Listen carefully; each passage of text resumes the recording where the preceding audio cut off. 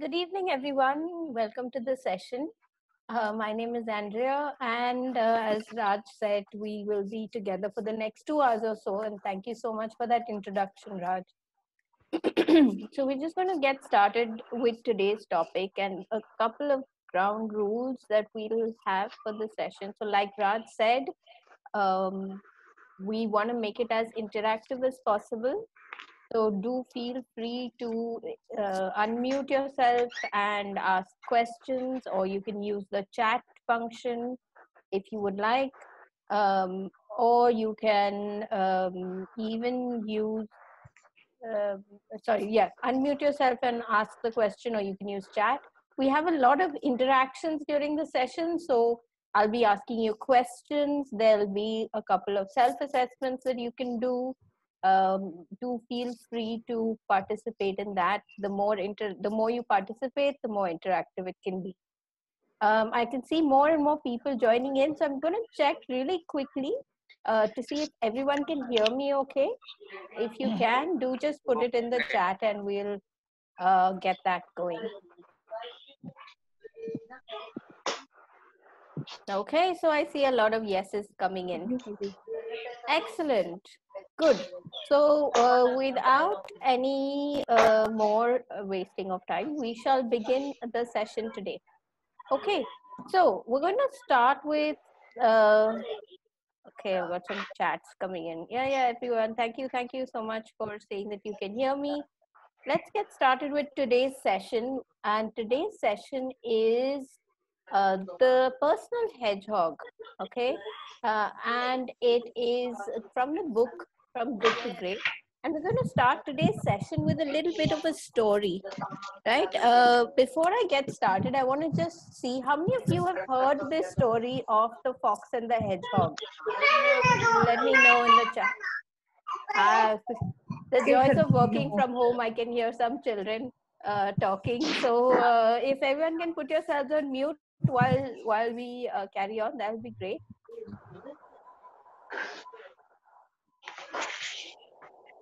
Okay lovely. So how many of you have heard of this story of the the four fox and the hedgehog? You can unmute yourself and do not know the story. Okay great. So let me start with telling you a little bit of a story guys uh, just a quick request. If you could mute yourself i know we're all working from home and it's difficult to keep background noises to a minimum. So if you could keep yourself on mute unless you're speaking that would be helpful to everyone. Okay so let's start with a little story of the fox and the hedgehog okay? Uh, so once upon a time as all good stories start uh, there was a fox and a hedgehog who were in a farmer's field and uh, you know they were talking to each other and discussing how uh, how the the farmer's dog was troubling them right? So the fox and the hedgehog were complaining about how annoying the farmer's dog was. And the fox was telling the hedgehog look i don't worry about that because um, when the fox when the farmer's dog comes i have a hundred things that i can do to keep myself um, to keep myself safe yeah? So i can run i can hide i can do all sorts of things. And you know that the fox is known for being very very crafty and having a lot of things that they can do. Uh, and the hedgehog said you know what? I'm a poor little thing. I don't really uh, have so many things that i can do. But uh, i there is one thing that i can do and i do it really well. And that is whenever the fox the whenever the uh, farmer's dog comes, I just uh, curl myself up and I hide, and uh, it can't hurt me. So, and that's all that I can do. So that's what I do. So when the fox, when the dog eventually comes to attack the fox and the hedgehog, by the time the fox is trying to go through all of the different things that it can do in order to save itself from the fox, um, the hedgehog has curled itself into a little ball and is able to escape from the uh, from the dog right well when the dog uh, goes and attacks the fox Okay, so that's the story of the fox and the hedgehog. It's it's not a very common uh, fable or story, really. Uh, but when Jim Collins was writing his book, uh, he kind of uh, picked up this story and used it in his book called The Fox and the Hedgehog. Okay, uh, sorry, from his book called From Good to Great, and he called this concept the personal hedgehog. Okay, being a hedgehog rather than a fox. So, what do you think? Let's get some interaction going. What do you think is the moral of this story, the fox and the hedgehog?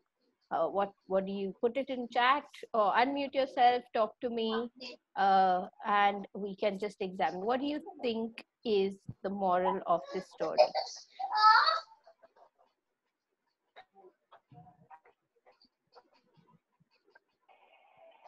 Uh, well, the moral is um, uh, fight the fight the way you can. Okay, that's very good. Uh, I'm sorry, I missed who said that. Who, who Um, gave me that? It's Vivek. Vivek. Vivek. Okay, lovely. Thanks, uh, Vivek. what you're good at. Stick to what you're good at, right? And yeah, that's absolutely true. So the moral of the story really is, you know, uh, stick to being what you're good at and uh, maximizing that rather than trying to do too many things and not being great at it or be, not being uh, or being confused when it comes to a time of crisis. Okay so let's get into that a little bit more and i i want you to answer this question which probably we've asked ourselves a lot of times okay? Would you in your careers rather be a generalist or would you rather be a specialist?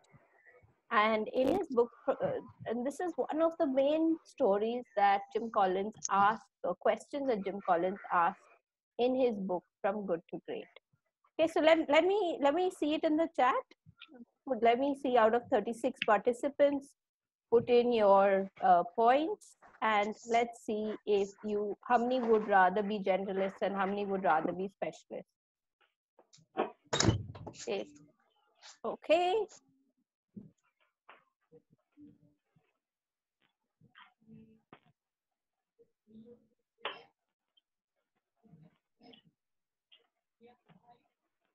okay. So i can see that okay let me let me ask you this also. Is there anyone who would like to be a generalist?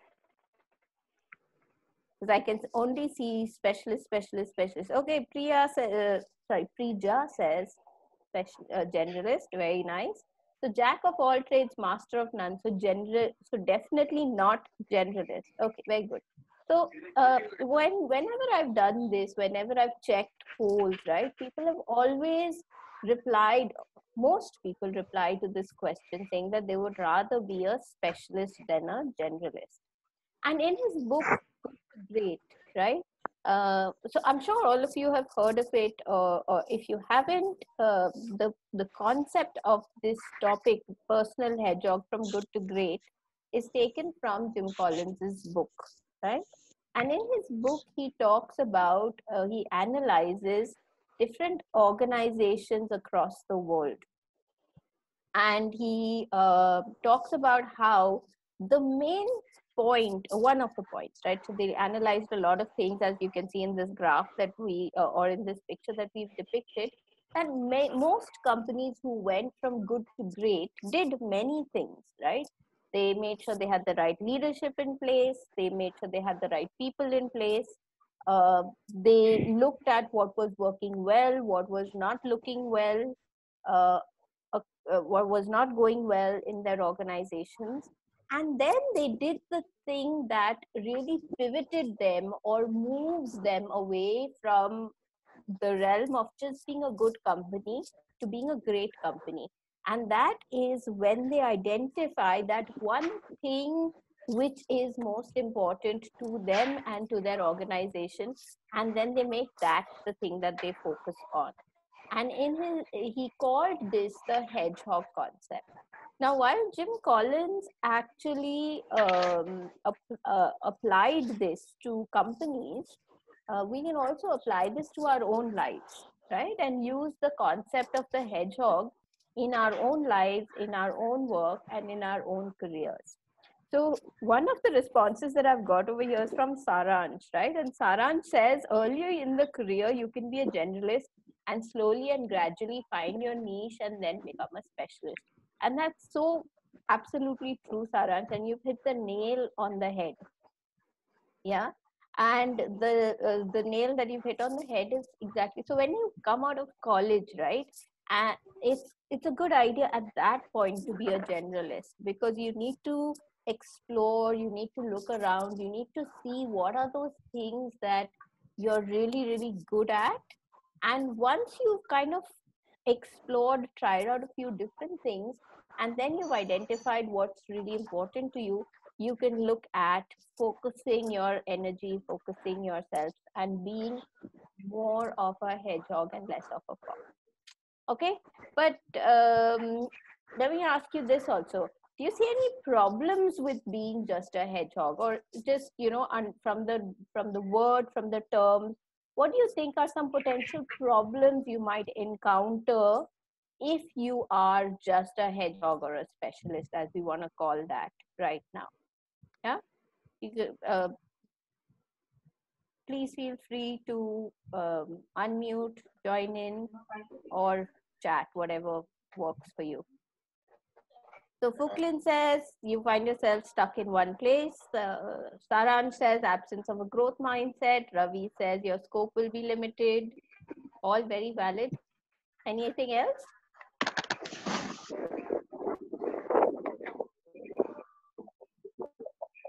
Hello? Yeah. Hello, you this is? Murali. Hi, Murli. Uh, Madam, I'm not able to listen properly for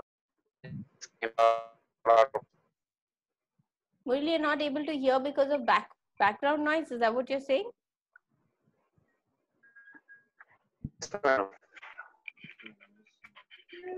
I'm not Uh, able. Murli, maybe you can put yourself on on mute and switch off your camera. It probably is a bandwidth problem. So if you switch off your camera and keep yourself on mute, you'll be able to hear us better. Yeah. Um, Frequently disconnected. yeah, it's probably a bandwidth issue, Murli. Okay. Uh, and Vipal says dependence on others for what you're not a specialist for. Yeah. So the, these are all, of course, definitely problems that you might face if you are a specialist and not a generalist. I'm going to take a quick pause to just uh, see the audio problem. So, Murli, are you having trouble with the audio? Can you put yourself on mute? Yes, audio problem. Okay. Can you put Audio yourself pro- on? Okay. Could you put yourself on mute, and then you might be able to hear better.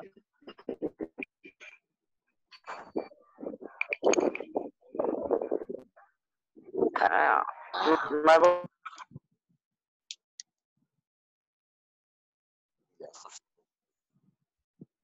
Okay, uh, so I hope that we are able to hear now properly. We're going to try and see if we can mute participants from our end also, because the background noise is getting a bit distracting. Uh, so let's see if we can do that. If you want to unmute yourself, please go ahead and unmute and speak and then put yourself back on mute. Okay, Fuklin uh, also says plus points to it could be uh, creating a niche in one area, yeah? uh, yeah absolutely. So you become a specialist in what you're doing. But it's not just about uh, you know saying okay I, uh, falling into specializations which is something that does tend to happen to us in our work as well. It's about thoughtfully identifying what you can be good at doing what you enjoy doing and then working towards making that your specialization and there's a very particular three formula approach that uh, Jim Collins talks about in his book, uh, From Good to Great. Okay, so in this workshop, we're going to look at these three aspects of it. The first thing is understanding the three circles of purpose, right? So the three circles of purpose really uh, talks about how do we consciously identify what we are good at doing? What is that personal hedgehog of ours? And how do we use that in our lives? In spite of the careers that we are in, in spite of the organizations that we work at, or if we're lucky enough to be entrepreneurs, how can we identify and maximize that which we are good at to really launch our our own work our own careers into not just careers not just work that we do but into our calling into that which is most important to us okay? And lastly of course once we've identified all of this we have to put it into practical plans that we can use to develop these areas. Okay so let's get started with that in the session now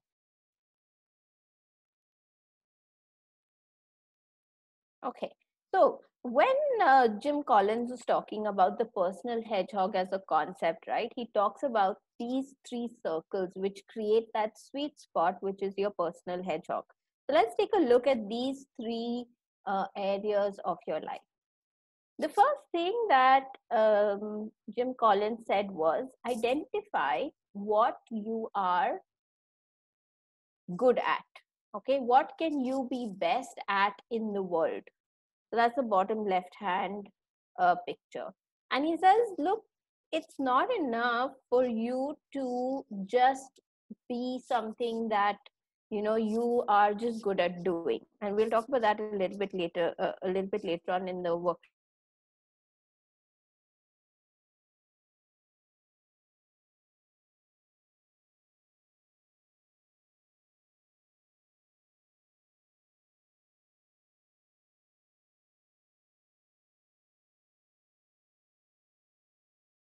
stressful to do it it drains your energy. Says don't don't don't look at just that right? There are many things which you are not just good at doing but you also really enjoy doing them right? So there are things that um, when you do it you feel energized you feel in flow you feel uh, motivated all of those things happen. And and those are the things that you should focus on in the first part right? So what can you be best at in the world we will talk about these as your strengths and not just your skills. We'll talk about that a little bit later in the section. The second thing is, what are you passionate about, right? So there are some things you're good at doing, and if you're lucky, there are many things that you're good at doing.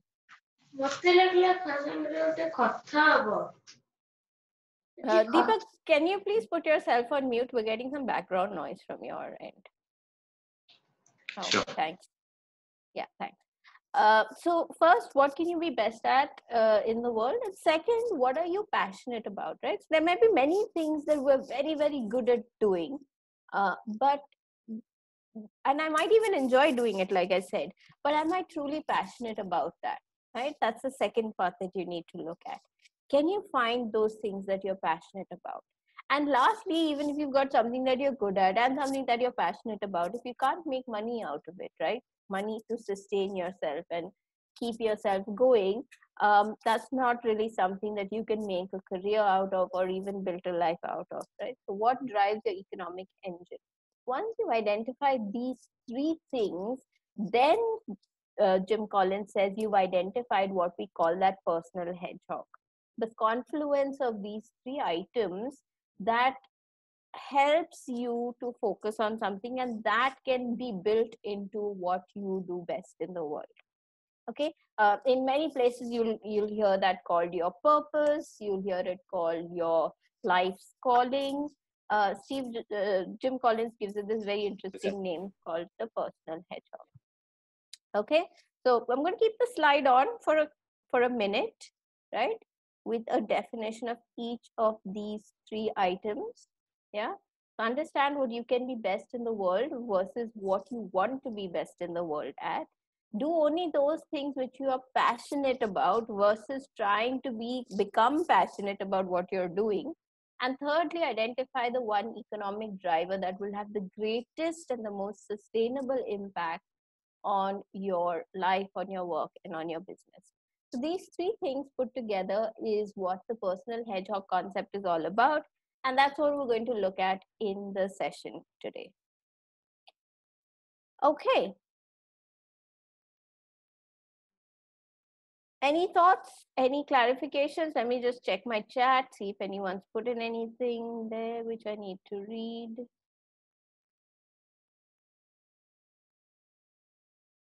Okay. All right. Okay. So to get us started now let's see where we are today so currently in our lives in our work and even in our mindsets right? So not everyone is built to be a hedgehog. Many of us prefer to be foxes. Sometimes that's a good thing sometimes it's not a great thing. So to get us started on am i more of a fox or a hedgehog? I have a, a, a small questionnaire okay? I'm going to send this questionnaire to you on chat okay? I'd like you to download the questionnaire and you can answer it on your uh, laptops uh, or your desktops wherever you're calling from. You might have trouble doing this if you're uh, using your phone but uh, do try and answer this questionnaire. So i'm just sending it to you right now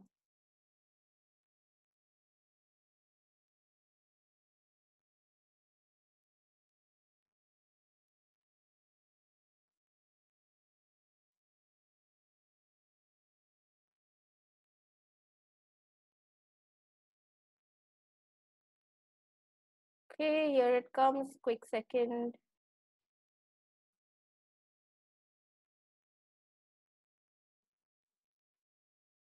Raj, are you able to get it? The file on chat?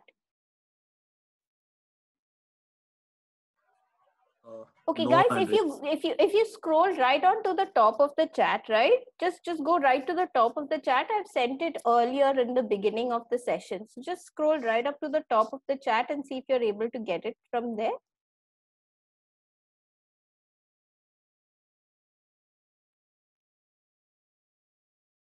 Just trying to send it. Seems to be some problem on the network sending it. But you should be able to get it at the start of the chat. If not, let me just try resending it again.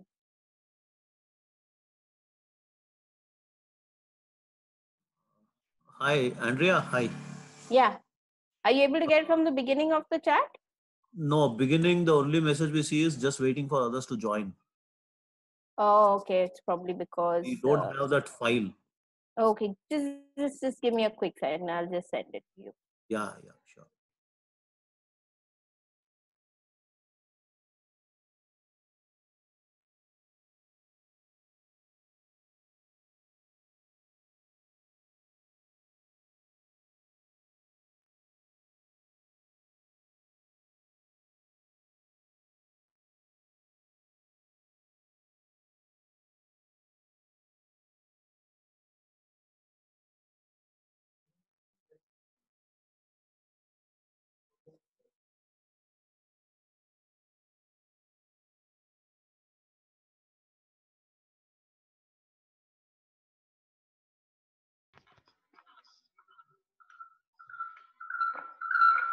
Ravi says you might need to be a fox to figure out the way here.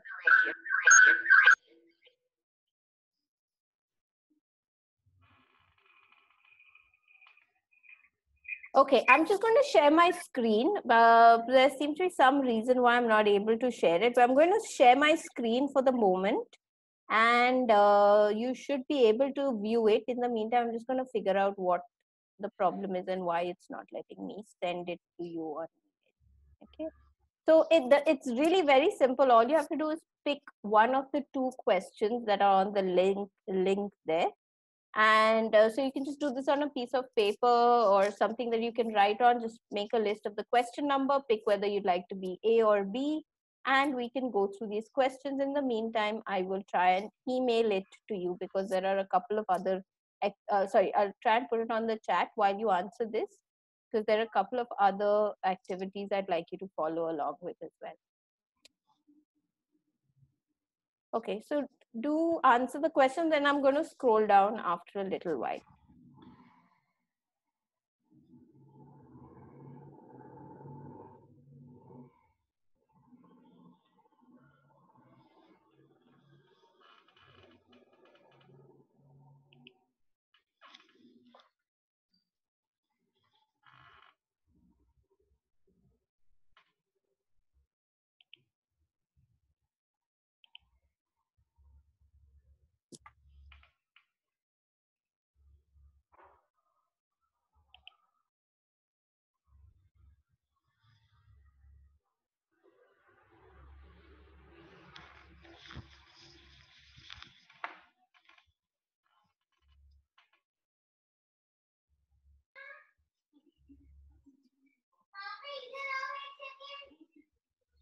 Hmm.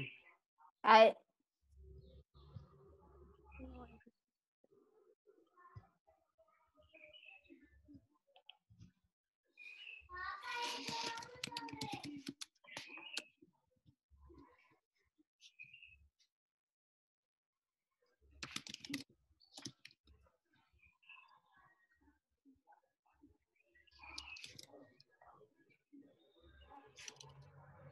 Okay, I'm going to scroll down a little bit more now so that you can uh, see my screen. Yeah, if you've answered those questions.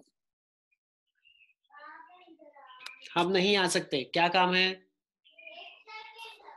नहीं Guys, again, can you please put yourself on mute? Amit, I think you're not on mute.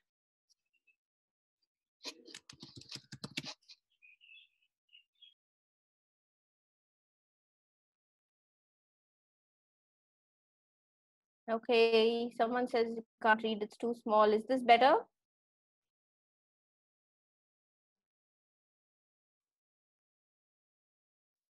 Yeah, the size is good. Could we get back to the previous questions once more? You have scrolled yeah, too much. absolutely.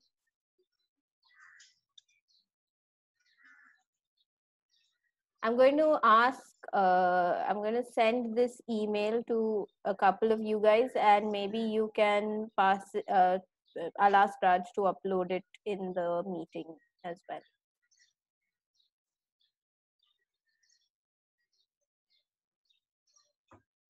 Okay, I can, you can scroll up to uh, question number four now.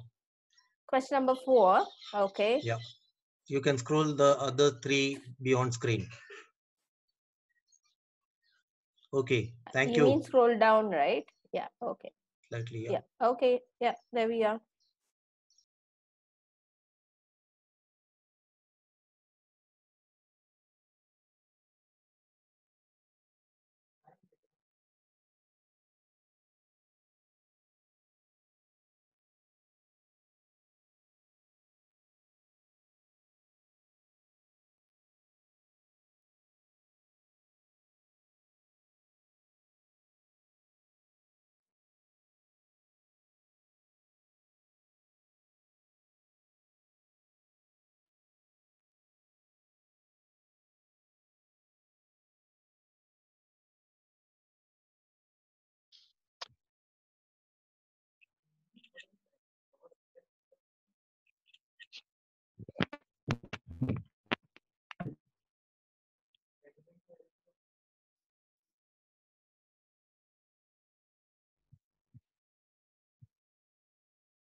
Done with question eight.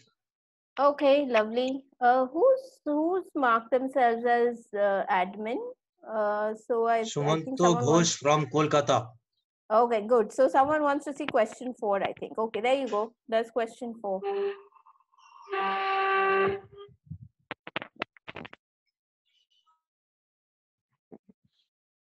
Thanks, Sachin. Uh, I've just sent it to Raj, so I, I'm going to ask him if he can uh, do that for us.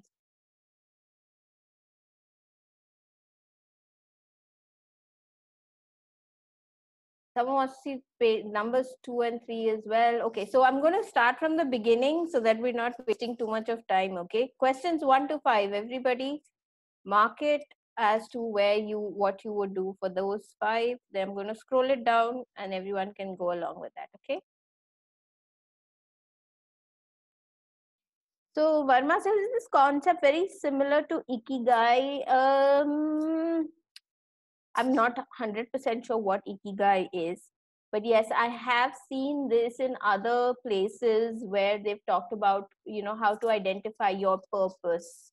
Uh, and sometimes there is a fourth fourth button as well, something that is valuable to the world is a fourth uh, kind of a circle which is put in over there so in places in other you know when when you're helping people to identify what career they'd like to be with or, or go through i have seen similar circles talking about similar things um, in his book from good to great um, jim collins only talks about these three circles and that's why i've put them in there uh, but yes i have definitely seen so- something very similar in other places so I'm now showing question six to nine. all you have to do is select whether you'd like be more of an A or B. Uh, pick one of them in all your options. Many of the the uh, items might seem similar to each other, uh, but do uh, please pick one or the other. Right. So it's it's an example of what we call forced choice questions. So we're forcing you to choose one or the other. And sometimes when you are forced to choose, um, it kind of clarifies your choice a little bit for yourself. Okay, so 5 to 9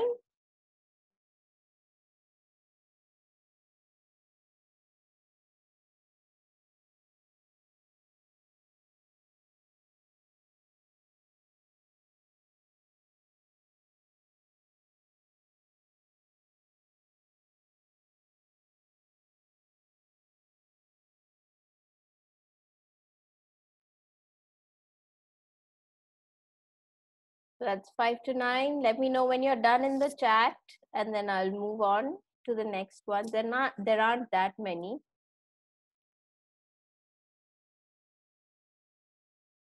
Okay, maybe I can even scroll slowly down. Yeah. So I'm now doing from I'll keep nine on and we'll just look at 10, 11, let me know if you want me to go back. Could we see question number 10 once more, please? There you go.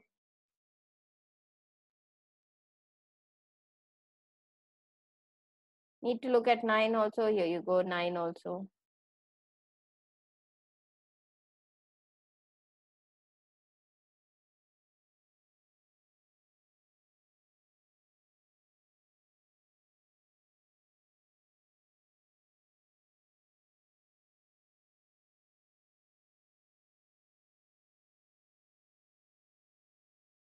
Okay, Raj has sent that I think now to everyone, and you can see this little download bot, bu- button at the at the end.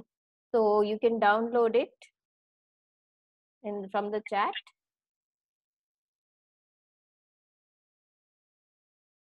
And uh, then I'm going to just give everyone like five minutes to uh, finish the bits that I didn't have a chance to show you.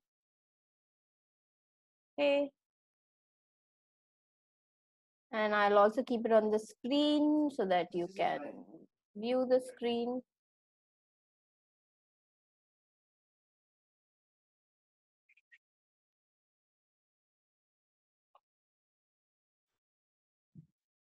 Apologies.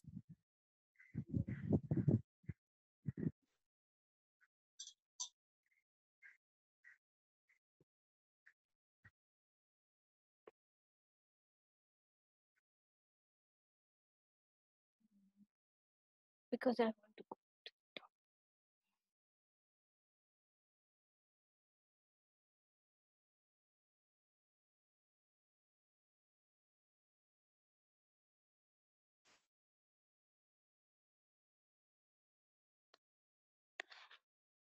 For anyone who's on their phones and may want to just do it on the side, you can just uh, go through each one.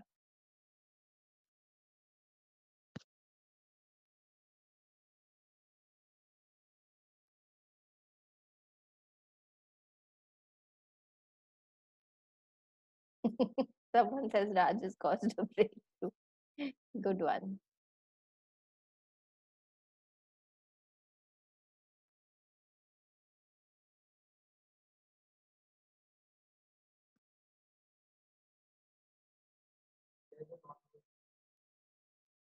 Uh, someone see 11 also? Okay, sorry, here you go. 11 to 14.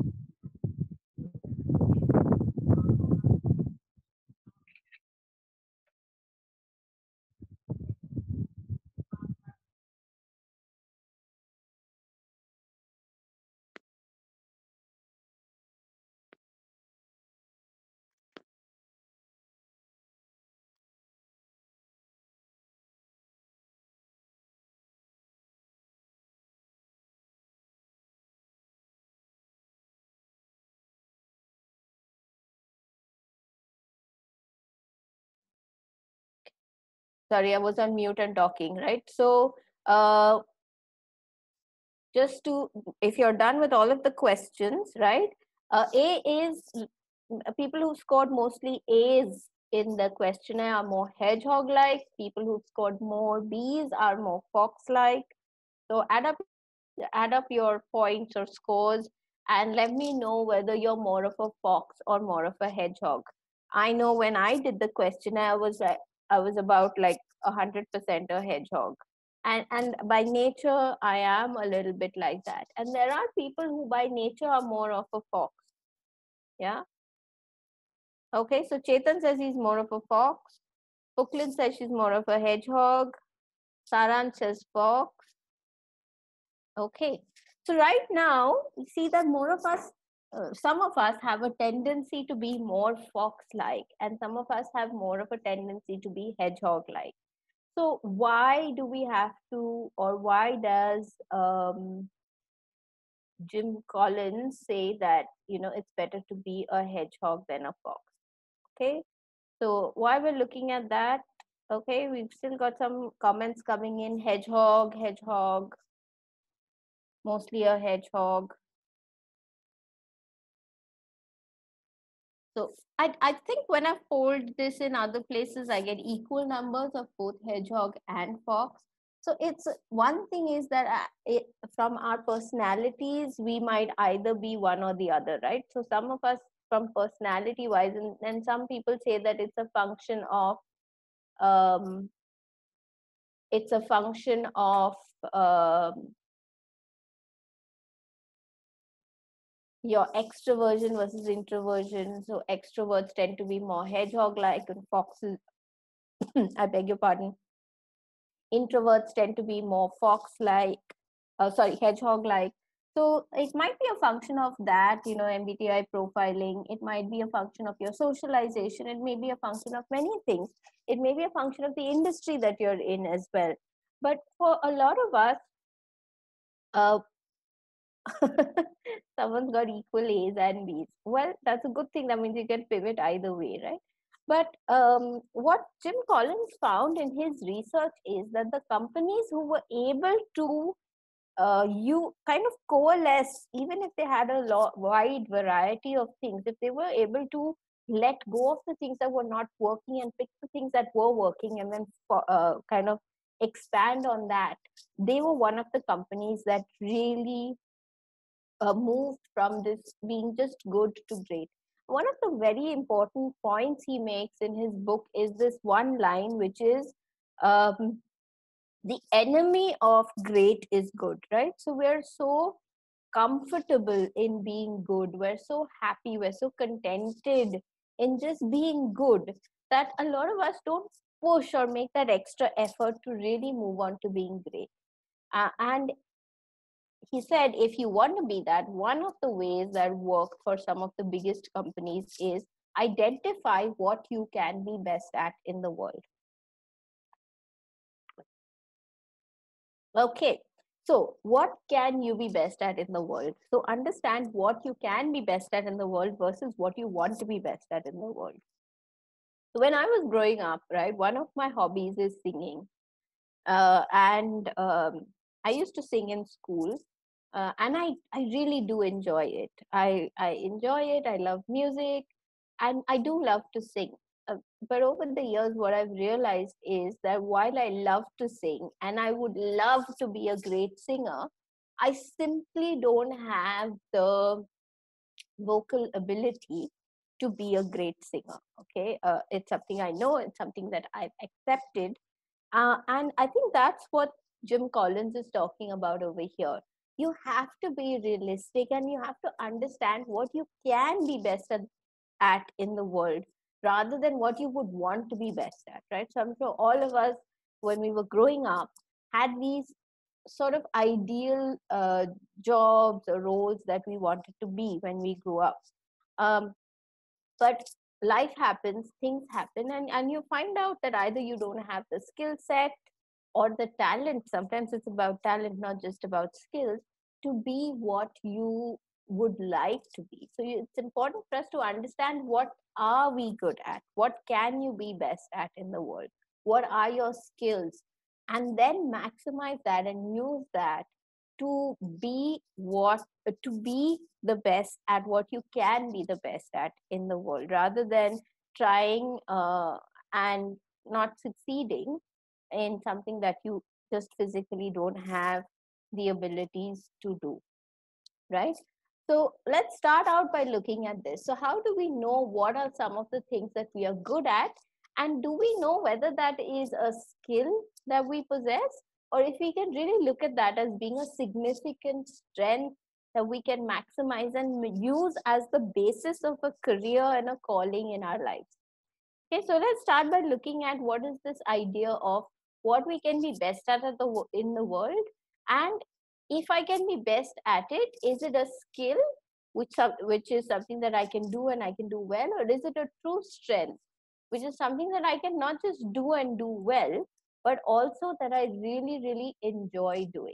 Okay, so let's look at the differences between strength and skill. So, a strength is something that comes to you automatically. It's a talent, it's an ability, um, it's it is a skill, but it's also a skill that you really, really enjoy doing. Um, uh, it's often it comes to you without even you realizing or you working very hard at it right? So it comes like a flash uh, to you. So for example you might have a very keen eye for detail. You notice things that other people tend to miss out on. Uh, or you might be innately creative right? So you can look at you can look sometimes you can even look at just a powerpoint presentation and you can say you know what? If you put this color there or if you use this font or if you use this picture you know it'll make the whole thing look a lot better. So some things which are so innately a part of you that you don't even realize uh, how it happened or where it came from. These are good indicators of something that's a strength. And there are a lot of skills that you pick up along the way which you realize that you really enjoy doing and then those skills can also become strengths uh, that you do but so let's put it this way all strengths are also skills, but all skills are not necessarily strengths, right? So skills are things that you do well, but you don't necessarily enjoy doing that, doing it. Um, skills can be taught, but if you don't practice it consistently and often enough, uh, skills can become uh, can you can forget you can lose those skills as well. Um, skills are also things that you uh, start doing because that's what your culture or the the work environment expects you to be able to do not necessarily something that you truly enjoy doing right so for example um, even you can learn to speak a new language like french and with practice you can become fluent. But if you have a passion for languages right that's a that's a significant strength. Then you don't have to work at learning new languages. You tend to pick them up automatically. So similarly for myself right uh, one skill that i have or i like to think that i have it is uh, is i can do sales. Uh, i can do all of the processes involved in sales i can call up people i can talk to them I can probably put put together a proposal and I can have those discussions. But I really do not enjoy doing it. I find it draining. I find it uh, taxing, and it really takes energy out of me uh, to do that. So it may be a skill that I have, but it's not necessarily something that I enjoy doing. Uh, however, uh, you know, um, making a report right? Working on Excel or working on PowerPoint or even working on uh, Word, right? And putting a report together is something that I really enjoy doing. I love working with numbers. I love looking at different things you can do with Excel. I can spend hours creating formats and templates and things like that. It's something that is a skill. I'm, I'm fairly good at it. And I also enjoy, really and truly enjoy doing it, right? I can just get totally immersed in the activity and do it for hours at end. So for me, I know what are my skills and I know what are my strengths. Uh, training for me, um, speaking to an audience is is also a strength. Uh, it's something that I couldn't do for a, for a long time. even if I'm not particularly enthusiastic about it, when I'm eventually there, I can get all the energy that I need to do it. Right. So that's a strength for me, and that's a skill. Um, are we? Are you able to identify what are your skills? Are you able to segregate things which are just skills, things that you can do? Maybe you can do them well, but you don't necessarily enjoy doing it. And do you know what are some of your core strengths? Those things that help you not only to do well and not only something that you can do well, but also something that you feel energized doing. Okay, so let's let's take a quick a minute uh, or stop from me talking and let's put in in the chat if there are some things that you for yourself know what is a strength and what is a skill so put them both in there say you know what um, my skills are this is this is this but my strengths are this is this this this. Uh, you can even uh, unmute yourself and tell me one or two strengths and skills that you have or if you feel more comfortable putting it in the chat please go ahead and do that. If you, also of course if you have any questions now's the time to ask me. Okay waiting for a couple of minutes. Hello, Andrea. Are you able to? yes yes i'm able to hear you hi joseph One of my strengths is I can uh, innovate more uh, new tools like TRIZ, Technic Russian Innovative Solutions. And uh, but uh, my problem is that uh, I'll be little advanced thinking and people will not recognize its uh, tool strength and other things. It's a it's a methodology. I proposed QFT around the 20, 1990s. That means they about Right. 10 back to DRDO, but they didn't accept Right. it. right So, and uh, now that- they're realizing the importance of it is that it Yes, yes. Now they are uh, coming back to me that is important for them. And the skills Yeah. is that uh, uh, I cannot learn uh, languages. Even uh, okay even C language I didn't learn, but I have learned pa- uh, something called Fortran and uh, COBOL long back. But Uh-huh. uh, that was taught. I cannot uh, learn new syntax and languages. In Mm. fact, uh, but uh, even Excel, I don't. Uh, I'm not a macro programmer in Excel. I wanted to become, but I didn't- I could. I realized that I cannot. But the skills Mm. is again something I can read from the internet. I can learn fast. Right. So if you have to, if I understood what you said, uh, what you're saying is if you have to do it, if someone forces you to do it, you will read and you'll learn and you'll do what you have to do. But it's not something that you would, you know, that you're able to do just naturally on your own. Is is that it? Yeah, that's correct. Very good. Thank you. Yeah. So that, uh, that's that, that that's that's exactly the definition of it, right? Um, so um, good. So it looks like the people were taking time to type up their answers. I've got a whole bunch coming in. So Ramakrishna says, um, strength is leading a team to achieve desired results. That's great. Um, and, and Ramakrishna also tell me what are some of your skills, right? So things that you can do well, but don't necessarily enjoy doing uh, very much. Um, Sumanto says strength is innovation. It comes naturally, quick at learning languages, either human or computer. Uh, but skills are some things that you acquire by learning. Okay. Fuklin says that my strengths are anything and everything to do with training. And knowing Fuklin, I can attest to that, right? Uh, so she's a great trainer. I see that humor, coaching, skills, content creation, uh, project management coming out um, in everything that you do. All right, that's very good. Uh, Joseph, have you uploaded or have you just sent uh, the questionnaire again for everyone? Thanks for doing that. I have uh, Uh, answered my, the question and uploaded it. You you sent me your answered questionnaire. and uploaded. Ah, Uh, from that, uh, most of them are A, but uh, I think it's I'm a fox in that case. Am I right? No, no, I, I think A's are hedgehog answers. Oh, okay. Sorry, sorry. I'm Yeah, mistaken. more of a hedgehog. Yeah. Okay. Okay. I uh, uploaded my answers to that one. Yes. Okay, very good. I will definitely take a look at it afterwards, right? Okay, great. So Gautam says strength is to learn a couple of languages. That's how I learned nine Indian languages, managed to tackle any stressful situation. Um, good one, Gautam. Skills are being a certified trainer for Microsoft Technology, Cisco, and virtualization. So I'm wondering if, uh, Gautam, do you not enjoy doing that? Um, and if that's true, then you've, you've absolutely made the, dis- uh, the distinction. Um, Ramakrishna says, okay, process documents. I have the skills but don't enjoy doing it all the time. Very nice. Thank you. Usha Chauhan says, making teaching and learning enjoyable is my skill and tracking processes and reviewing is my strength. Very good. So thank you so much for all your answers. I think uh, we've I understood this very important thing. What's the difference between a strength and a skill, right? And uh, so so many times in interviews, in um, in other discussions, people ask you, you know, what are your strengths, and and we we've got into the habit of just making a laundry list of here's here are five things I can do.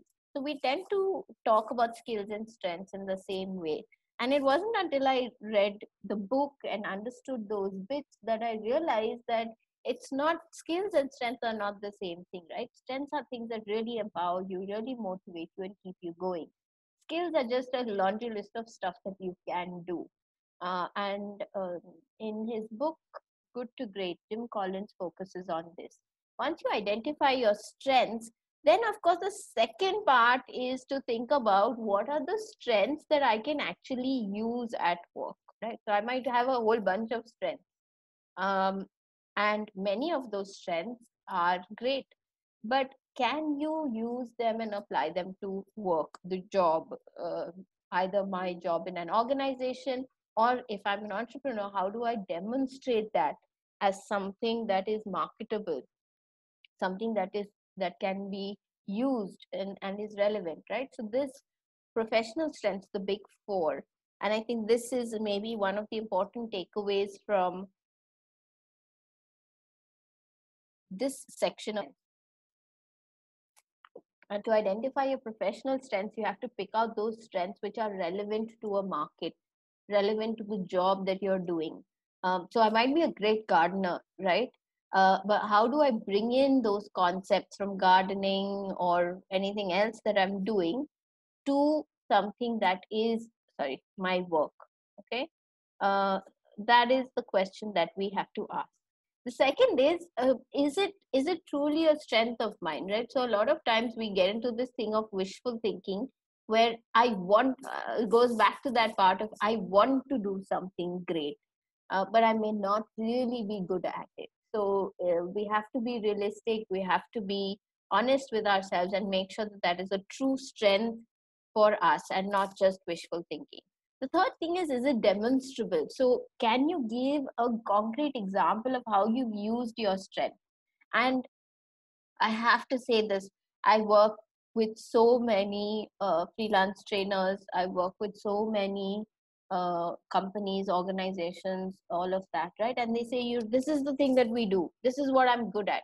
But unless you can explain it and give some concrete examples of how you've done it and you can talk about it um, it is not i would not call that a strength right? And it's hard for people to see it as a strength unless you can give some really good examples of what you believe are your strengths and how you've used your strengths in different situations so that's really really important uh, for you to do in terms of profession in terms of work in terms of being able to really move that into something that you can make into a career into a calling into a profession. And the last one is is is it adaptable right? So you have to be able to identify those strengths which we call cross functional strengths. Things which can constantly be reframed which can be updated which can be upgraded into something that is relevant for the day for the moment for the technology for the environment. And you know something like this uh, is a great example of adapting to external situations right? So we've all got this uh, these these uh, tr- treasure troves of knowledge which because we're all stuck at home we're not able to use in the world so what are ways that we can adapt either in the short term or in the long term to maximize our strengths and find out ways to use it uh, while adapting to the environment. Okay, so while you identify your strengths, you also need to make sure that you're absolutely clear on are these strengths usable? Are they are they relevant? Are they demonstrable? Are you able to implement it uh, in your life? Okay, so this is a very important slide uh, for us to pay attention to. Okay, now it's not very easy. I asked you off the top of your heads to tell me what your strengths are. Some of us, um, some of us know uh, little bits and pieces of us of our strengths, but it's not something that comes to us immediately. So we've got to think a little bit about it, right? So in in the handouts that I that that I uploaded, uh, in order for you to, yeah, sorry, was someone saying something?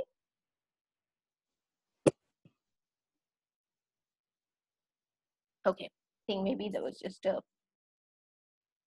mute mistake. Okay, so in order for you to identify your strengths, right, in the handout that I've sent to you, uh, we've got these four questions that you need to answer for yourself. So this is an introspection activity. You can do this when you have a little bit of time and you're feeling very relaxed. Uh, and begin by answering this first question, right? So, what skills have you used or shown in the past that helped you to thrive in your work till now, right? So, let's imagine that you've been working for 5 6 7 10 15 20 years of career right or maybe even less than that if you're if you're a fresher or straight out of college or this is one of your first few jobs? Uh, but but you you over the years you've collected some skills in your life. Okay so make a list uh, and this is make a list uh, as long as you like of all the skills that you have and that you've used so far. What has helped you to thrive? Out of these pick out those skills which we've talked about which you can identify as being significant strengths for you so what makes you feel strong? What makes you feel energized? What makes you feel motivated? What can you imagine yourself doing for hours on end and not getting stressed out by right? So these are those things which we will put into the section which we call our strength. And then there's also this part of some strengths which have been um, in some ways you know educated out of us. Right so it's really important to think back to those skills and strengths as well. What are the things that you used to do as a child which you remember made you stand out? Yeah if you can remember those things things that you were good at or you you really excelled at when you were a child maybe you used to draw very very well and just over the years with with school and with college and with with work it's something that you've ignored or you you know forgotten about. Maybe you enjoyed photography maybe you uh, enjoyed singing and have a good voice unlike me right? What are those things that you have or may and you've maybe forgotten about them in the rat race of work? Make a list of those as well. Uh, because if you have significant strengths over there then we look at the other parts and see how you might even want to create a real pivot into those things. Brooklyn says drawing and painting from my childhood. Very good. So then maybe things that all of us you know and we we just lost track of some of those things. Uh, very uh, writing. A lot of us have forgot creative writing i mean right? So we all write for work. We write emails we write documents we make presentations we make all sorts of things but creative writing writing uh, stories uh, is that something that you're good at? Uh, one of the other good questions to ask yourself to identify something that might be a strength which i don't realize is a strength is what are those compliments that people give you and you don't take them very seriously because they seem so natural to you right? Those are also things which tend to be indicative of that is a strength of mine so when someone for example tells me andre oh you speak so well for me that's like oh well you know what? That's just that's just me. That's who i am. But i need to recognize that for me that is not just a strength it's a significant strength. Uh, sorry it's not just a skill but it's also a strength. It's something that i enjoy doing and apparently it's something that i'm good at.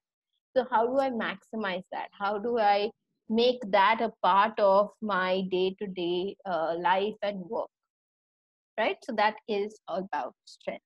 Once you identify this you have accomplished the first circle of the hedgehog.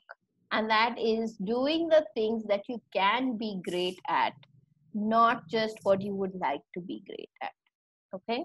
So that's the first circle. Okay any questions on this? Any observations? Anything you'd like to share before we move on to the second one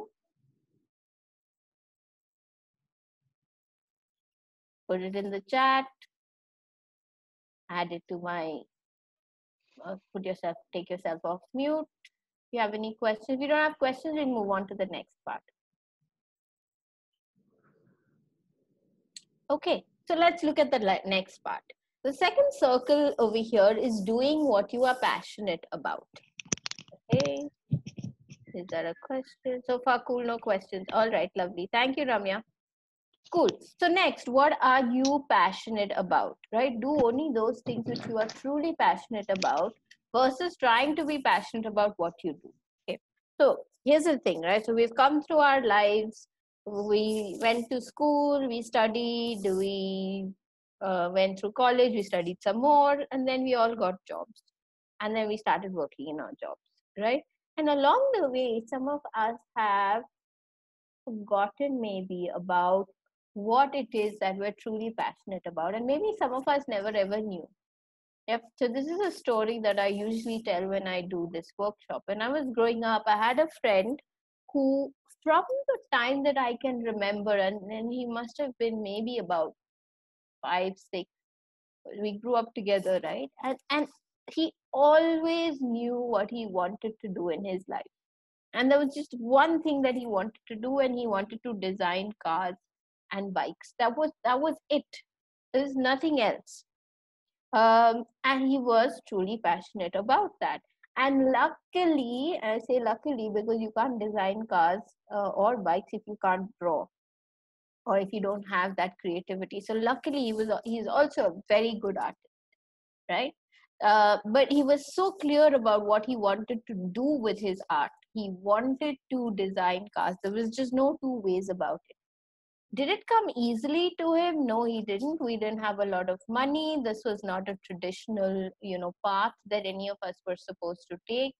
Uh, so he did all of the normal things that you do when you start working right? We worked in a call center gathered up money but as soon as he saw an opportunity he uh, and as soon as he could gather enough money he started to uh, explore you know those options he worked with Dilip Chhabria for a little while uh, went on to study design, uh, automobile design, put his, uh, put his, paid his own way through that, and and now he works with some of the biggest uh, automobile designers in the world, right? So he worked with Mercedes Benz, and he's worked with uh, Daimler and some other big organizations. So there's someone who, but he and I always envied him because he just knew from the day he was born, I guess, that this was one thing that he wanted to do. It was a true passion for him. Uh, and I always wondered about that. Right? What is it that I truly feel passionate about that I can put all my energies towards it and um, and and and do whatever it takes. And and luckily, somewhere along the way, I found that my passion is my passion is training and you know working with uh, people and helping them to develop and helping them to grow. And luckily that is also what i'm the, the line of work that i'm in right? So what is this whole thing about passion and how is it different from a strength right? Passion is a strong feeling enthusiasm or excitement for doing uh, for something or for doing something right? So it goes beyond the strength. The strength is makes you feel good and the strength is a collection of skills but a passion is what you use those skills toward right what is that thing that gets you up in the morning that is your passion um, i discovered mine along the way and i know that that's something that i'm truly passionate about do you know what your passion is? Okay. Um, and for most of us who are in training, learning and development, uh, and also in our careers, it's a good, this is a great time uh, in this uh, area or in this thing of lockdown to, to really introspect and find out, you know, what is it that I'm really passionate about? Uh, so let's see. Okay, so good, good question. Okay, so noiseless choice, noiseless choice. I like your name. Uh, says, uh, are, am I more passionate about training or Excel and report creation? So see, understand this, right? Excel and report creation is is a strength of mine. Uh, I love doing it, I, and I enjoy doing it. But I'm not, I'm not, passionate about it. It's hard to be passionate about a skill, right? I am passionate about training, which means that I take my Excel and report creation strengths and I apply it to training. Basically, when I'm pa- when you're passionate about something, right? Like I'm passionate about, I'm not I'm not just saying training. I'm talking about development of human individuals. So it could be training, it could be coaching, it could be counseling, it could be mentoring, it could be um, it could be one-on-one um, you know uh, psych you're helping people psychologically also to the extent uh, while i'm not a trained psychologist but as much as i can help people uh, to heal better right? So it, it's not just training. Training is one part of it. Uh, and so i use all my skill all my strengths right? Excel and report creation everything that i do when i do it all i'm thinking about is how do i use this in my work? How do i use this in my work? When i'm watching tv i'm thinking how do i use this in my work? When i'm playing my games and i love playing video games i think about how does this apply to my work? Um, and, and when i say work i mean training and helping people and helping to heal all of those things right? So my, that is my passion. That's what i love doing. All my skills go towards that. Uh, so that's my passion. Do you know what your passions are i'm devanik oh good devanik okay. So catalyzing human development is his passion is your passion too. That's excellent. Great thanks for clarifying that. What about others? Let let's see some more things that are your passion so there's a but at the end of that. Good devanik please uh, don't think that you have to only type in your responses. Please uh, put them into i mean unmute yourself talk to me that's all great. My passion is identifying trends in technology. Okay that's great. Good. Okay devanik says here's my challenge. I love too many things. Okay great. So devanik here i'm going to ask you now the next question we'll probably try to clarify that for you as well. Okay? So we'll just look at uh, we'll look at that. Admin says same here. Person is not the admin. Great how can i be a hedgehog when i love doing many things? So i'm going to try and see if i can clarify it in the next slide uh, for you. Let's see if we can answer that okay? Come on others tell me your passions. If you sit there passively then we can't have interaction in the training. So let's let's let's get some more in.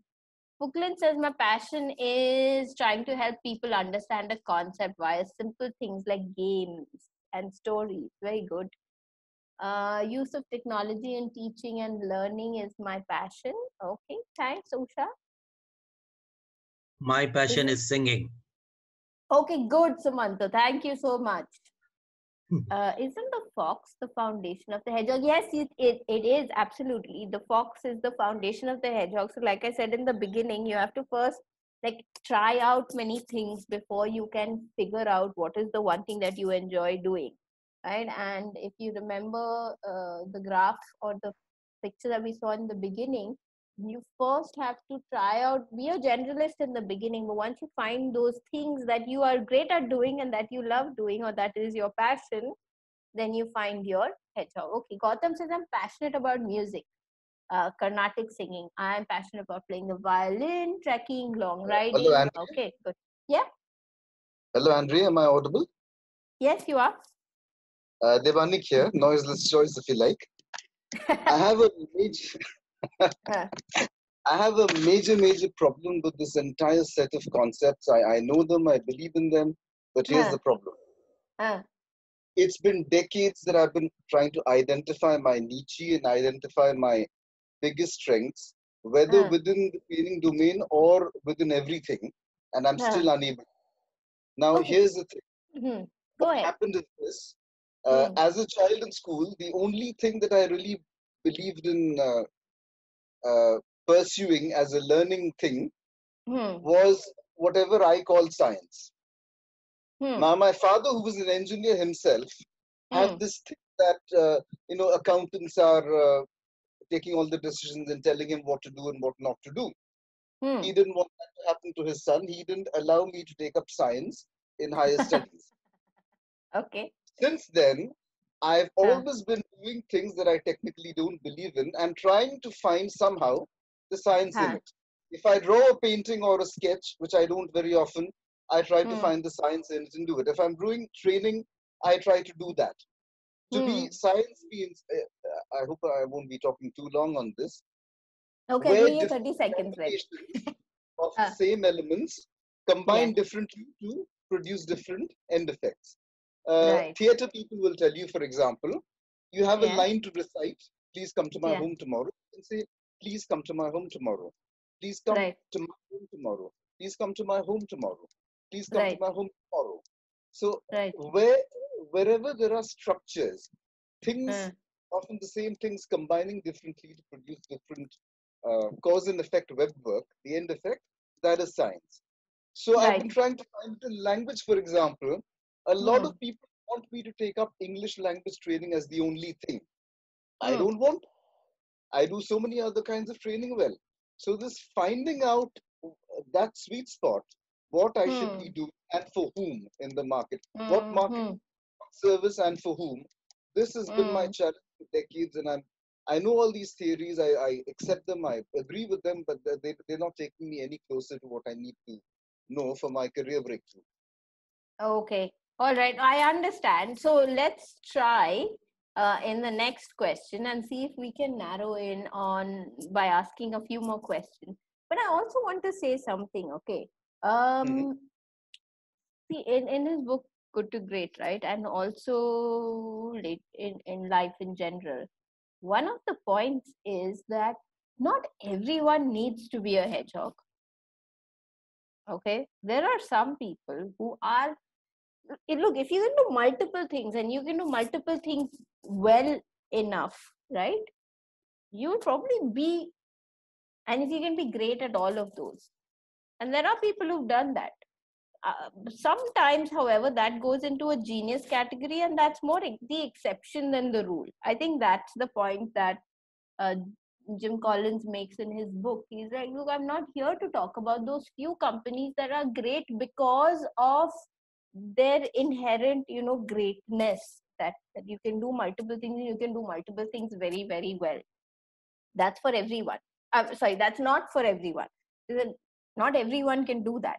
But if you found success and if you found the level of success that you're happy with in doing multiple things and in doing those multiple things at a level that you're very very happy with and that you feel energized with and is driving your economic engine i don't i don't see that it's 100% necessary for you to fixate on doing one thing very well the only thing is yes Unfortunately, these theories are right for another reason too, which is the market mindset. Uh, no, I'm not happy with the level of achievement. uh-huh Even my even my profile, the problem with it is that people look at it and say, if this fellow is an expert in so many things, he's not an expert in anything. And no, I'm not. I'm neither giving nor getting back as much as I uh, deserve to in terms of the value that I know I have, because I have it in so many things.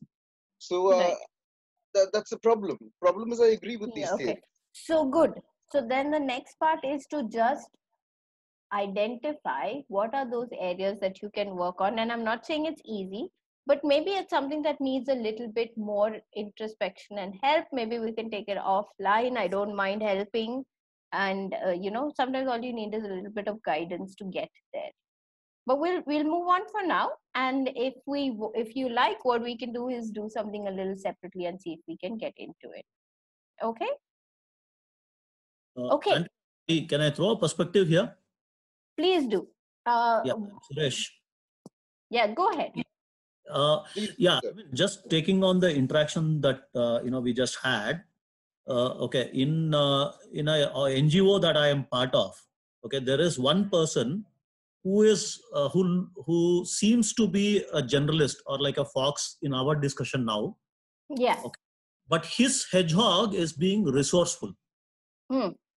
Okay, he knows so many things in general that we all go Hmm. back to ask for it. yeah yeah Okay, so that generalist itself can be one hedgehog for a person.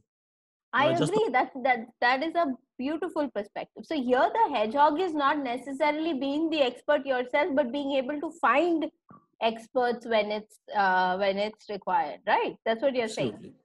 Yep, and that, that's a beautiful perspective. Thanks so much for sharing that, Suresh. Cool. Thanks, Andrea. Thanks. Okay, good. So now let's look. I'm, I'm sorry, I don't want to miss out on any of the chats. I'm going to run through them really quickly. Ramya says, My passion is developing talents, my strength is delivering training, and my skills is analytics. Very good. So you see, you, we've already begin to understand these different aspects. Regarding skill set, I wish I'm perfect in storytelling, but nowadays people will listen to my stories only if there is a whiffim in it. Absolutely right, Joseph. So is it, that has been the story since the beginning of time. Yeah. Okay. Great. All right. So now, uh, just as a tool, okay, and uh, like I said, everything cannot be uh, done in this workshop because many of the things require introspection and sometimes they need help from someone else.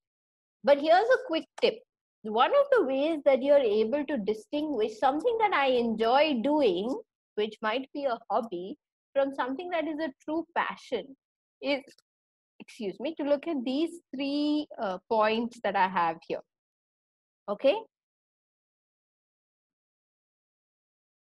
So, a hobby, and sometimes people mix up hobbies and passions. A hobby is something that you choose to do when you have spare time and you have spare cash, right? And if you don't have spare time, you don't have spare cash, then you may not really dedicate time to it.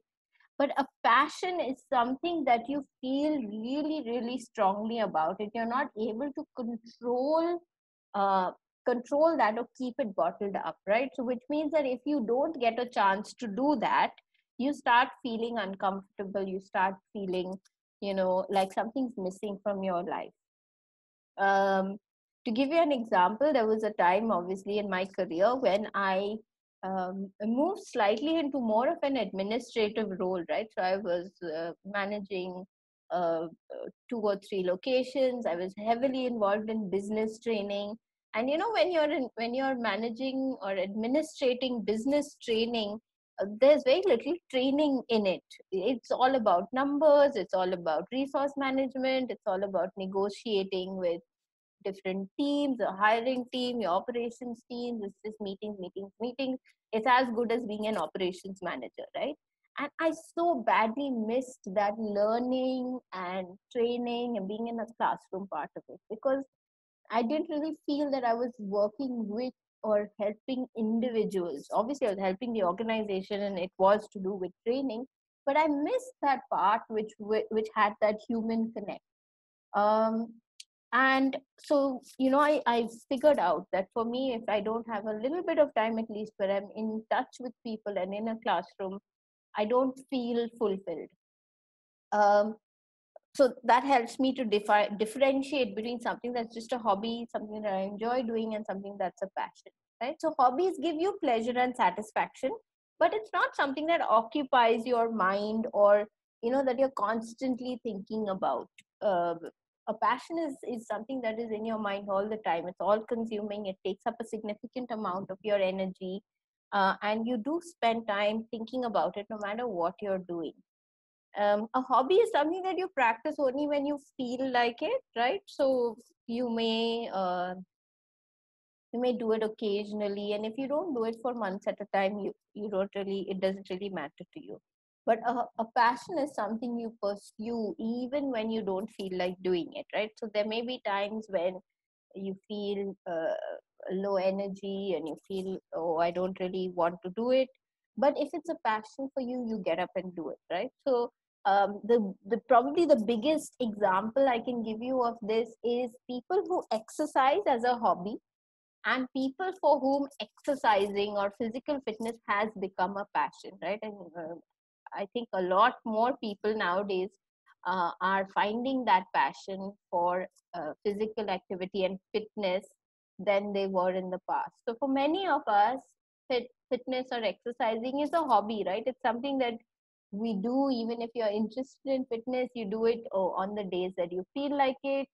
Um, if you don't feel like it you don't do it. But i have a friend who has discovered this passion for fitness and for uh, you know and for doing it. Um, she's she's a triathlete.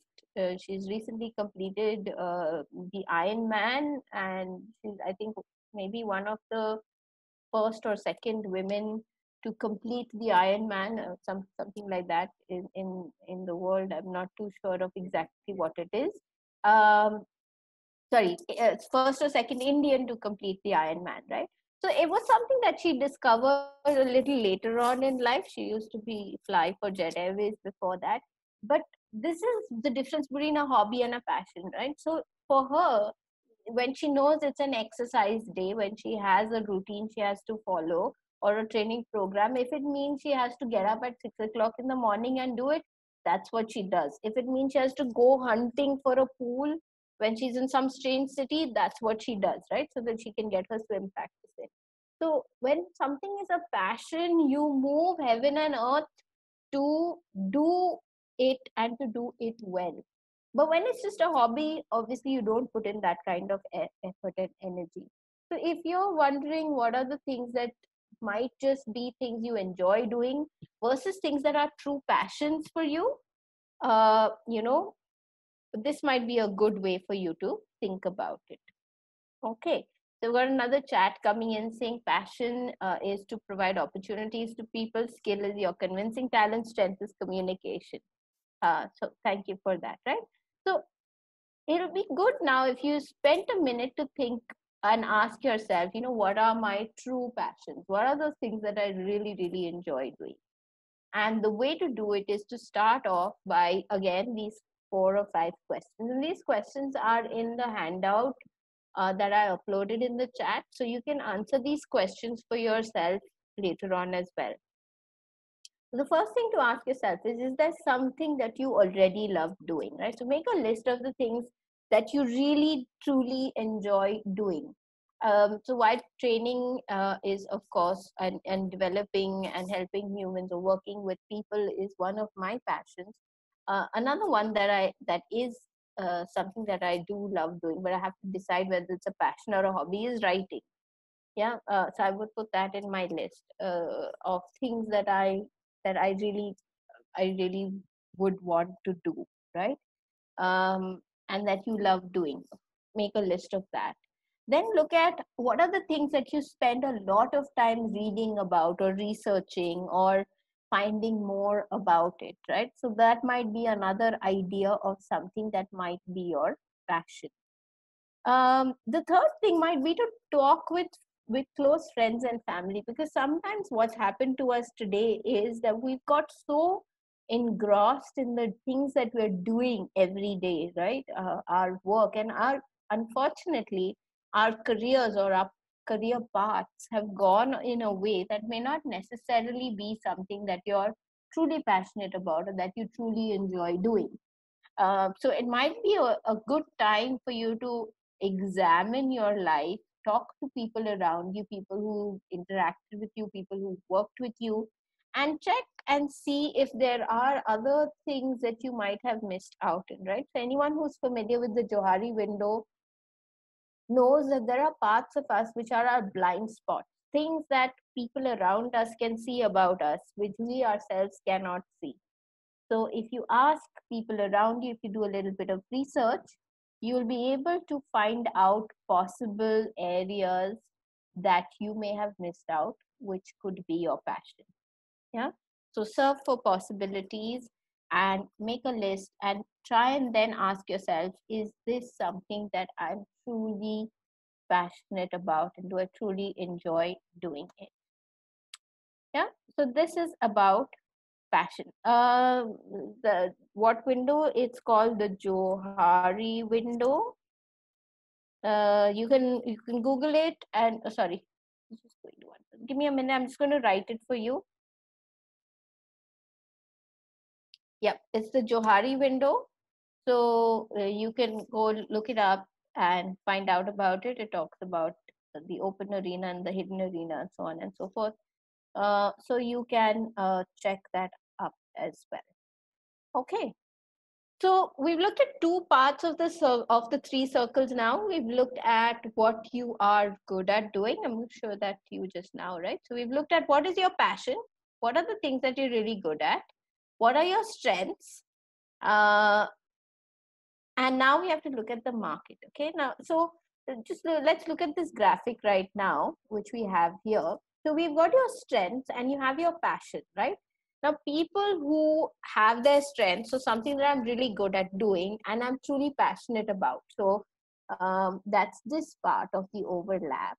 And that's what they are consistently doing in their lives. You end up in what we call the starving artist syndrome, right?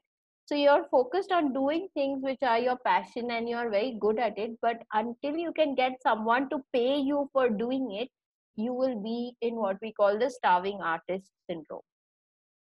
Then we have people who may have a passion for doing something. There might even be a market for it. All right.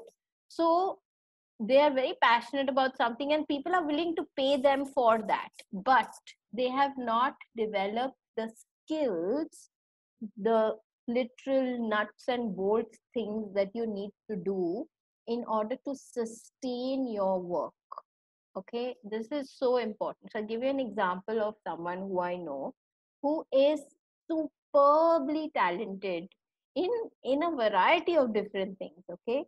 So uh, for example um, she is very very good at designing clothes right? She dresses in a very very interesting way. She has a, a real knack for de- designing uh, clothes which are very different, very interesting.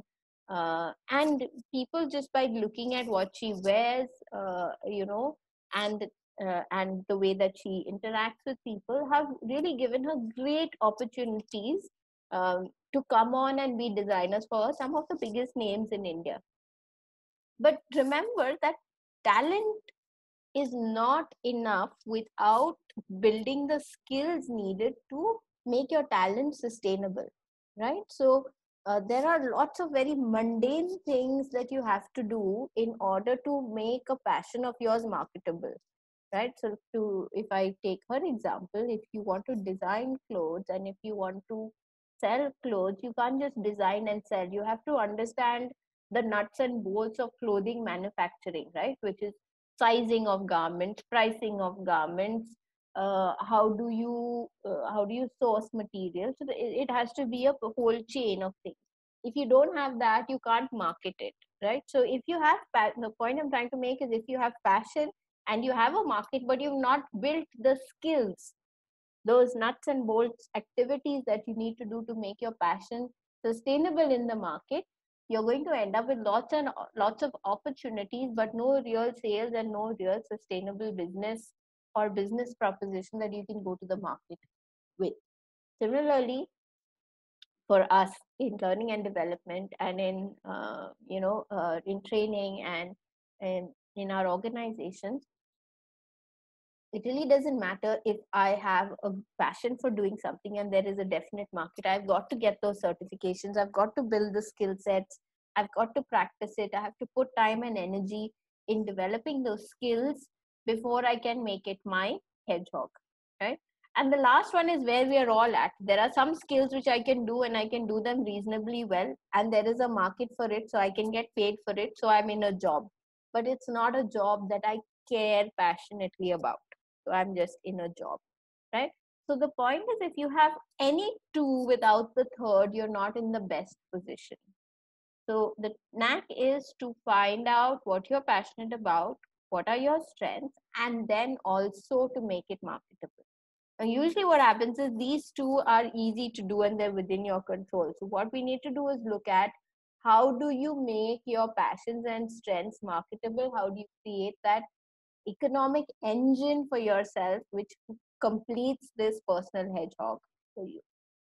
Okay, so I'm going to leave this for a minute on the screen so you can take a look at it. Let me know if you have any questions before I move on to the last part, which is how do you drive your economic engine?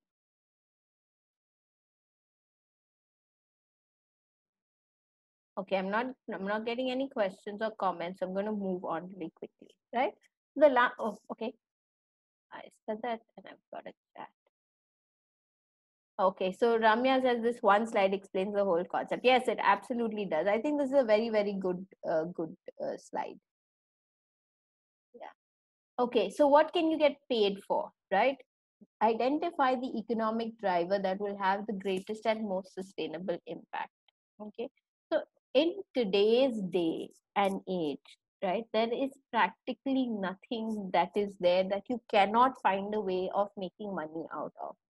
Okay, uh, one of the most i want to say ridiculous but it's not really ridiculous uh, one of the things uh, that i've seen and, and, i'm sure you you've also experienced it right? So i love to play video games right? I, I really do enjoy it.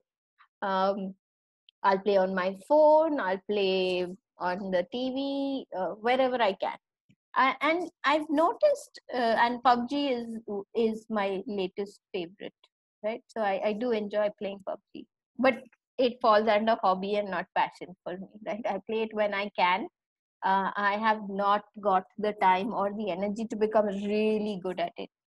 But there are many people who have, right? A lot of Indians, a lot of Indian youth, and across the globe have become really, really good at not just PUBG, but a whole range of online games. And it spawned an entire industry, right? So the gaming industry has become one of the most lucrative uh, sports in today's world, right? The tournaments and so on and so forth.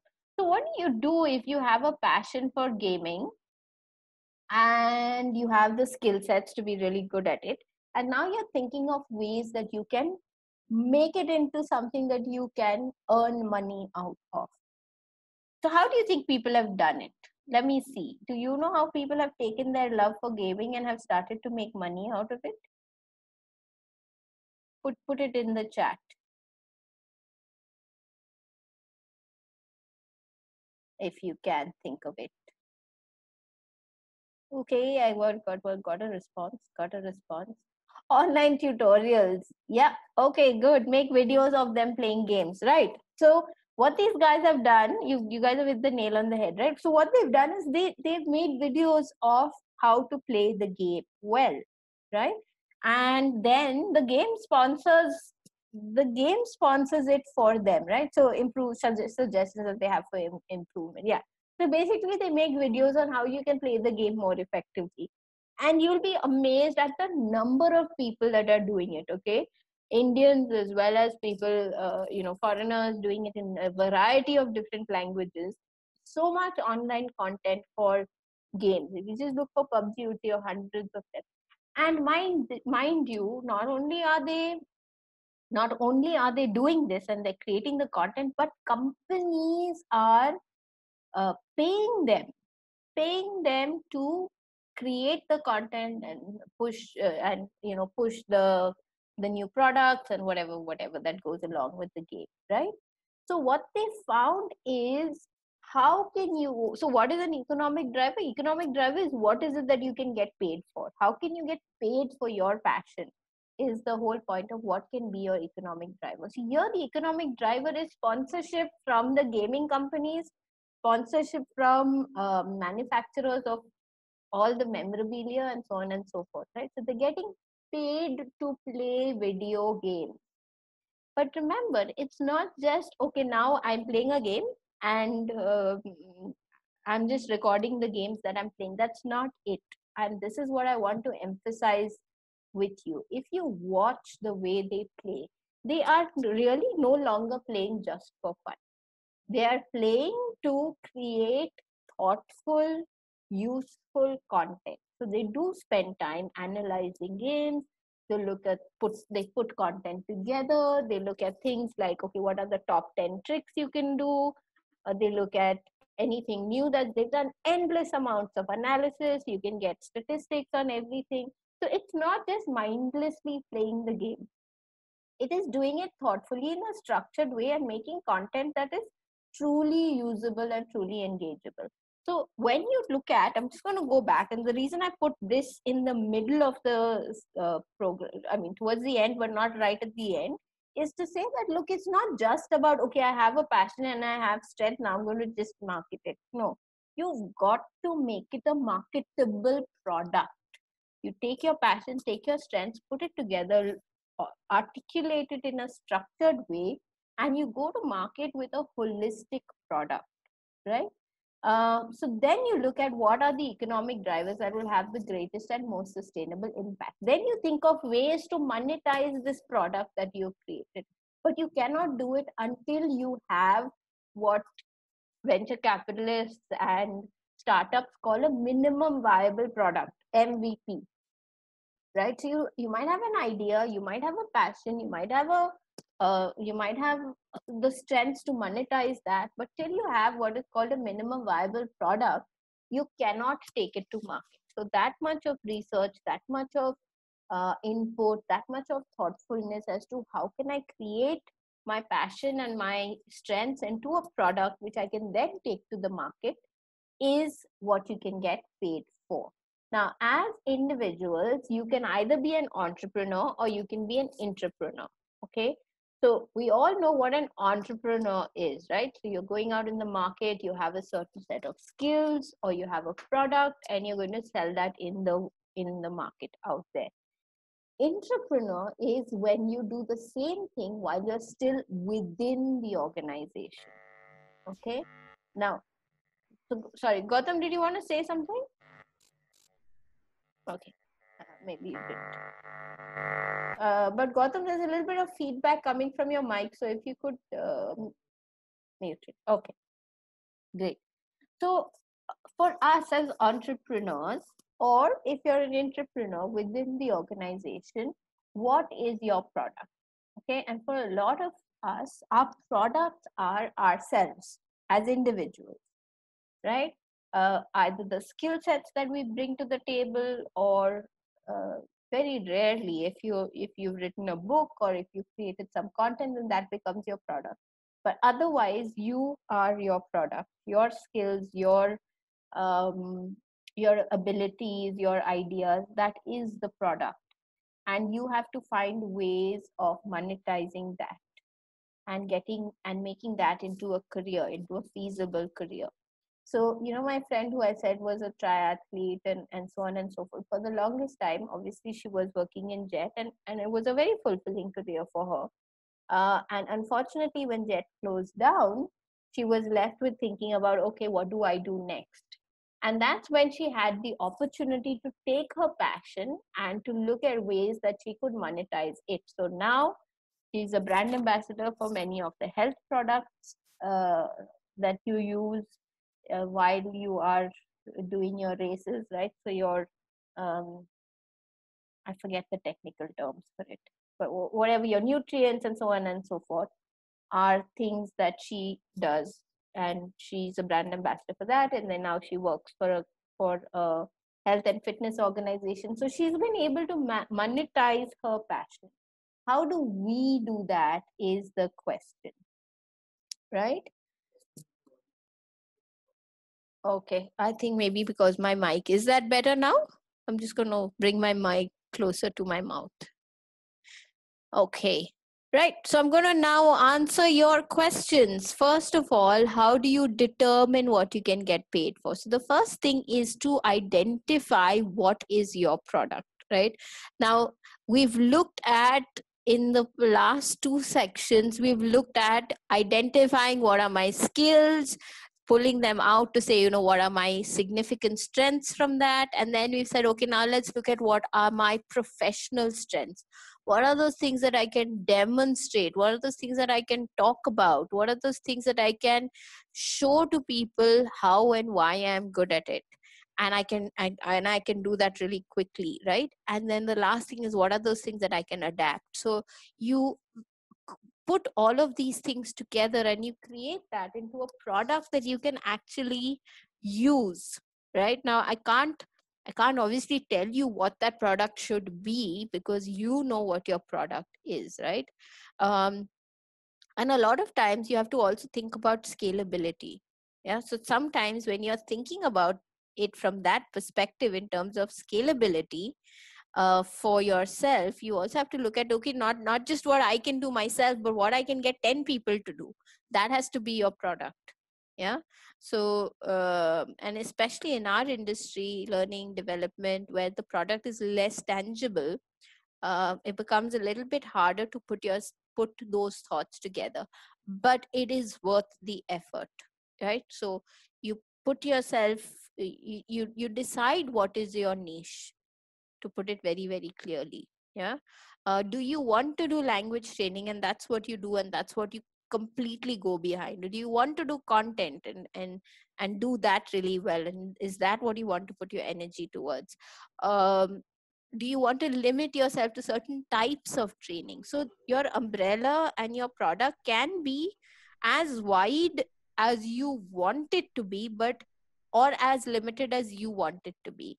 But truly uh, you know trying to do 10 things and hoping that one of them sticks uh, is probably not the way to go uh, forward. Not if you want if you want to be good that is okay. But if you want to be really great you've got to cut the flap down and figure out those one or two or three things that you can do and do really well and become great at it. Sorry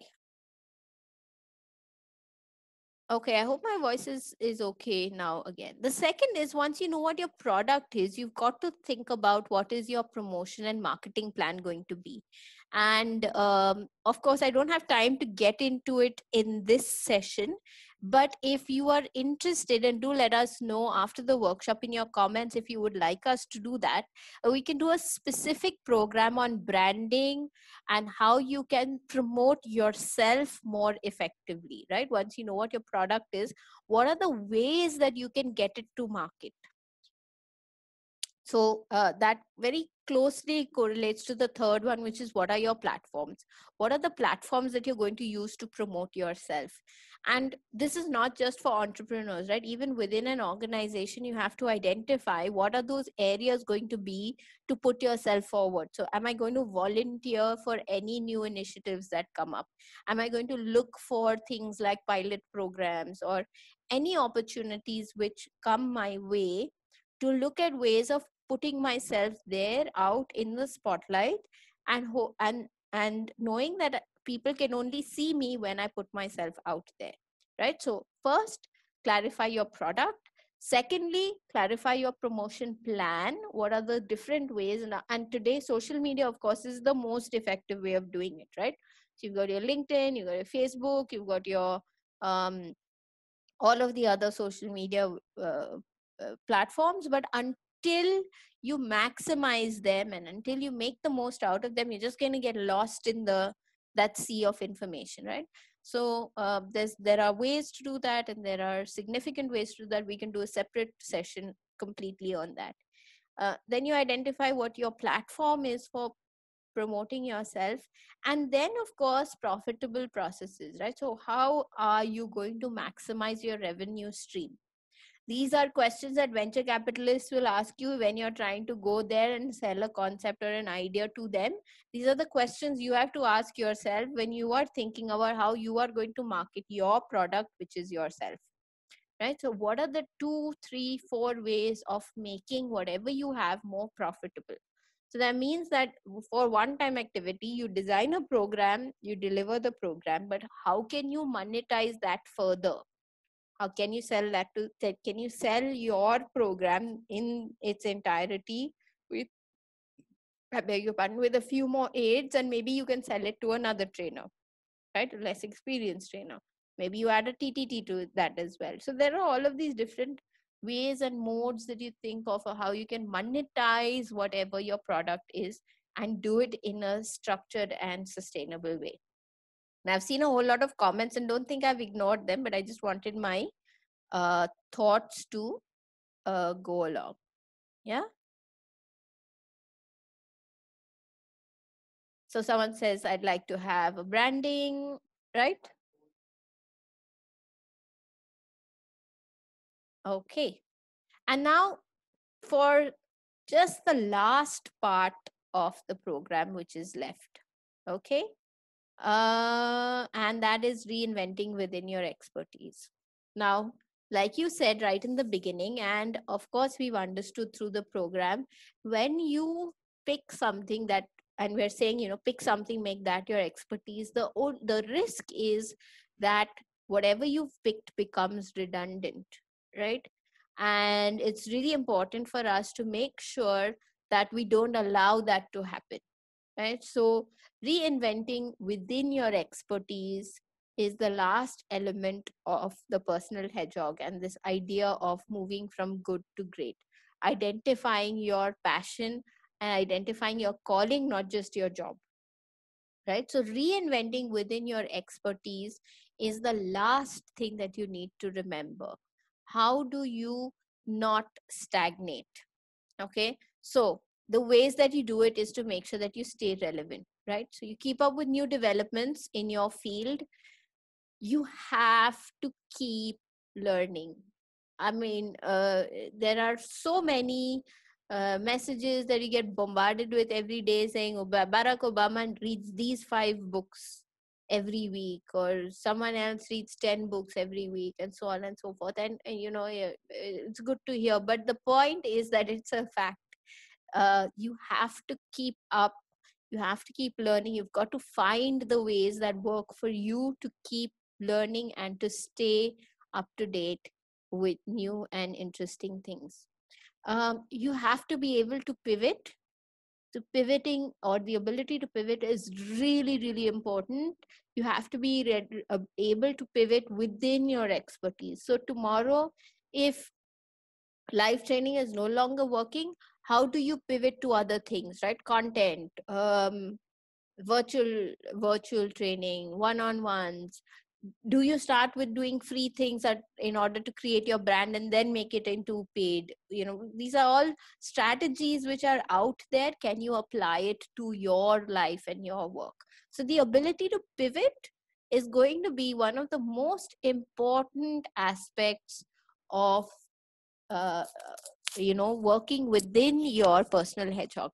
But remember when you've done it consciously right you, you've got this whole array of skills that you've built up. You've become really good at a whole bunch of things. You know what you're passionate about. Your only thing is to look at new ways of marketing the things that you're good at right? So that's the main pivot that you need to think about and that you need to work with. Um, so these four and and the last one is of course taking accountability right? There's no one nobody is going to come and give it to you on a platter. It's all up to you. Uh, you've got to take charge of it. You have to take accountability for it. There is nobody else who can do it for you. I'm sorry there, there's just no two ways about it. So this ability to stay relevant uh, and to pivot within your expertise is the most important thing about making sure that your personal hedgehog never becomes redundant. Yeah? And all of this comes because this is the future of work okay? Earlier we we used to work to have food on the table right? So and, of course there are many people who still do that today. They don't enjoy the work but it's what you have to do to put food on the table. Uh, over the years our parents generation worked because they were loyal to a company and they were probably professionals. And so that's what they did right? My parents were teachers and they were teachers for 20 years 30 years in the same school. There was a loyalty for the organization. They were professionals. That's what they did. But today you can and you should get paid for what you love doing right? Being paid for your passion is the entire point of this personal hedgehog concept. And of course doing it in a structured way doing it in a way which talks about you not just doing what you're passionate about but what you're really good at doing taking those two together and creating a marketable viable product. This is the whole concept of the personal hedgehog. Jim collins says it works for some of the biggest companies in the world and it took them from being just good to great i believe that this is something that individuals can also do and once you've identified your personal hedgehog, that thing which is your calling, not just your job, not just your profession, and you maximize that, you will not only be very happy with what you're doing, enjoy the process, but you'll also make money at it. And that's the end of my input for the workshop today. I am going to just take a few more comments and questions at the end. Fuklin says, do you have any tips on how to uh, earn passive income via training? Yes, Fuklin, record your sessions. Do it only for yourself. Put it on YouTube, put it on Udemy and earn money from that. Honestly, if you ask me, passive income from training comes from content. If you have, um, that, that's the way to do it localized content uploaded first for free and once you get some viewership uh, monetizing it. That's the way to do it. Okay. That really brings me to the end of the session. Thank you so much for your participation and uh, for being there.